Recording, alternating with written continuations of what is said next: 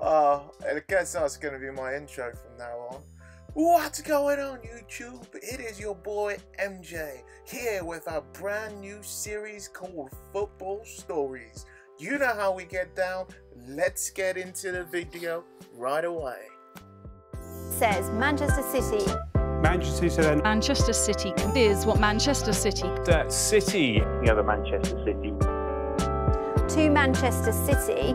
If Manchester January, Manchester City. It's Manchester City, just Man City. Oh, by the way, uh, Manchester City ban. Manchester City, Rich. If Manchester This one finishes. Manchester City cannot take part in any European football. Doesn't include this season. Uh, UEFA states for seriously misleading uh, them, European football's governing body, and for breaking financial fair play rules. Um, they were found guilty initially of uh, falsely inflating sponsorship revenues, uh, fined £25 million as well, 30 million euros.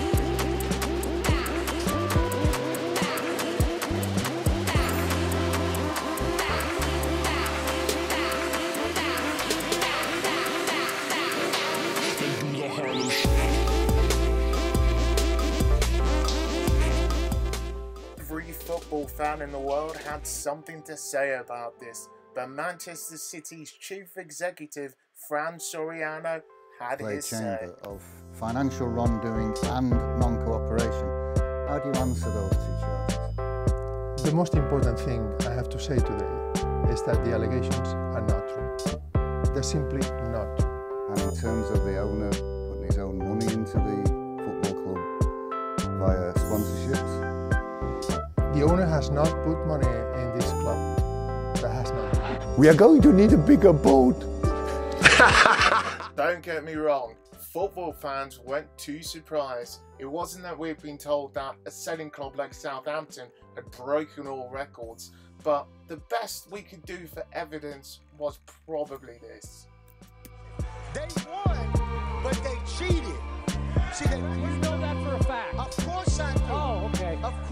source on that? No, it's the streets. the streets have no Oh, what changed UEFA's mind?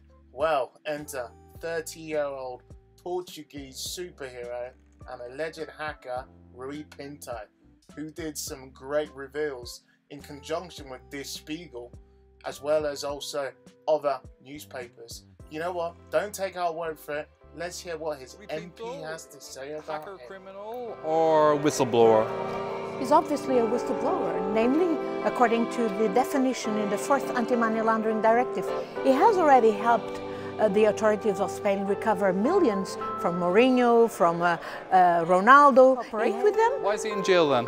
That's that's the thing. I mean, not only he's not been asked by the Portuguese authorities to cooperate with them in recovering assets, namely uh, that were evaded through tax crimes and money laundering and so on, in, the context of the, uh, the football leagues in which he was a major whistleblower, but he's in jail and. Pinto, the hacker that brought down Man City, and that's why I urge all football fans to join the Free Rio Pinto movement. I think Man City fans or all football fans, I think one thing we can agree on is we would like corruption kicked out of the game.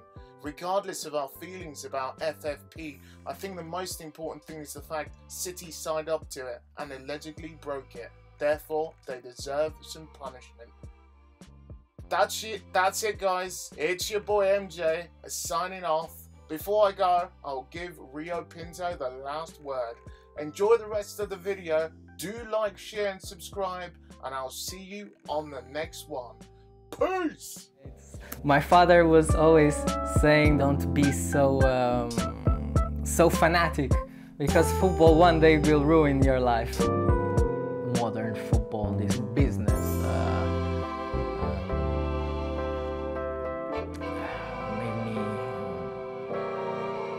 made me sad, to be honest.